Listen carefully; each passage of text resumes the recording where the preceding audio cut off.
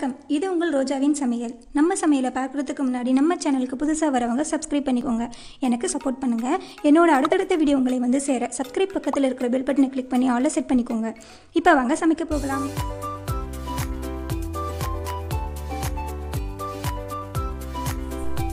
Mutton Cola உருண்டை எப்படி செய்யலான்னு பார்க்கலாம். எலும்பில்லாத மட்டனை அரைச்சி வச்சுக்கோங்க. ஒரு கப்பு மட்டனுக்கு தேவையான பொருட்கள் பிரியாணி மசாலா எடுத்துக்கோங்க. அதாவது பட்டை இலை லவங்கம் அடுத்து சோம்பு தனியா கருவேப்பிலை காஞ்ச மிளகாய் மிளகு இதெல்லாம் எடுத்துக்கோங்க. அடுத்து தனியாத்தூள் மஞ்சள் இஞ்சி பூண்டு பேஸ்ட்டு வெங்காயம் முட்டை மிளகாய்த்தூள் கொத்தமல்லி கருவேப்பிலை ஒட்டச்சிக்கலத்தூள் இதெல்லாம் எடுத்து வச்சுக்கோங்க. இப்போ ஒரு கரண்டி எண்ணெய் ஊற்றிட்டு இந்த மசாலா எல்லாமே போட்டு வதக்குங்க. இந்த மசாலாலாம் நல்லா பொரிஞ்ச பிறகு வெங்காயம் ஒரு கப்பு போடுங்க. வெங்காயம் வந்து கண்ணாடி பதம் வர வரைக்கும் வதக்குங்க.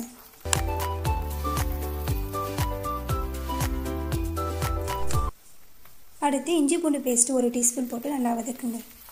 அடுத்து இந்த மசாலா தூள்லாம் போட்டுக்கோங்க. மஞ்சள் அரை டீஸ்பூன் தனியாத்தூள் ஒரு டீஸ்பூன் மிளகாய்த்தூள் வெறும் மிளகாய்த்தூள் ஒரு டீஸ்பூன். இப்போ அரைச்சி வச்சுருக்கிற மட்டன் சேர்த்து நல்லா வதக்கி வேக வைங்க. இதில் வேகிறதுல தான் இருக்குது இப்போ நம்ம பால் பண்ணி நம்ம பொரிப்போம்ல அப்போ வந்து வேகணும் வேகும் அப்படின்னு நினைக்காதீங்க. ஏன்னா அதில் போட்டோன்னே கலர் மாறிட்டும் தீஞ்சிற மாதிரி ஆகிடும் அதனால் இதுலேயே நல்லா வேக வச்சுடுங்க. அதில் போட்டோ பொரிக்கும் பொழுது எண்ணெயில் போட்ட உடனே எடுத்துடுங்க. அவ்வளோதாங்க இது போல் நல்லா வதக்கிட்ட பிறகு டேஸ்ட் பண்ணி பாருங்கள் உப்புலாம் கரெக்டாக இருக்கா? நல்லா வெந்திருக்கான்னு பார்த்துட்டு இது கொஞ்ச நேரம் ஆற வச்சுட்டு அப்புறமா மிக்சியில் போட்டு அரைச்சி எடுத்துக்கோங்க. அடுத்து முக்கியமான ஒன்று நீங்கள் வதக்கும் பொழுதும் சரி அரைக்கும் பொழுதும் தண்ணி ஊற்றவே கூடாது. அவ்வளோதாங்க இது போல் நல்லா அரைச்சி எடுத்துக்கோங்க. இப்போ வந்து கொத்தமல்லி வந்து கொஞ்சம் நல்லா பொடியாக கட் பண்ணி கொஞ்சமாக சேர்த்துக்கோங்க. அடுத்து முட்டை வந்து அரை முட்டை மட்டும் எடுத்துக்கோங்க. ஒரு கப்பு மட்டன் எடுத்துருக்கிறேன். அதுக்கு வந்து நான் அரை முட்டை மட்டும் தான் சேர்க்குறேன். உடச்சிக்கலை தூள் பார்த்தீங்கன்னா நான் ரெண்டு ஸ்பூன் தான் சேர்த்தேன். ஃபஸ்ட்டு ஒரு ஸ்பூன் சேர்த்துட்டு நல்லா கலந்துட்டு அடுத்து ஒரு ஸ்பூன் சேர்த்துருக்கேன். இந்த மட்டன் கொலை உருண்டை செய்யும் பொழுது நம்ம முட்டையும் உடச்சிக்கல போகிறதுல தான் தப்பு பண்ணுறோம் ஃபஸ்ட்டு வதக்குறது அதெல்லாமே கரெக்டாக பண்ணிவிட்டு இதில் தான் மிஸ்டேக் ஆகிடுது அதனால் பார்த்து பண்ணிக்கோங்க.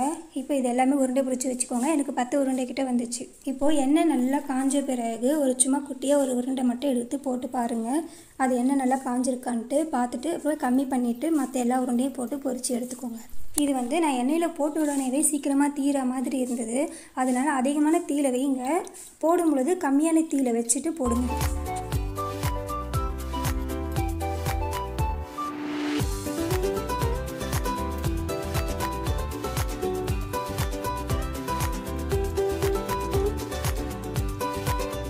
இது வந்து செக்கு எண்ணெயில் பொரிக்கிறதுனால அப்படி நொறு நொறியாக வருது. உருண்டிலுமே கூட நொறு நொறியாக இருக்குது நான் அப்பளம் பொரிக்கும் பொழுது கூட அதுலேயுமே எண்ணெய் நொறு நொறியாக இருக்கும். அதை பொரித்து வச்சுட்டு கொஞ்சம் நேரம் விட்டிங்கன்னா அது சரியாயிடும்.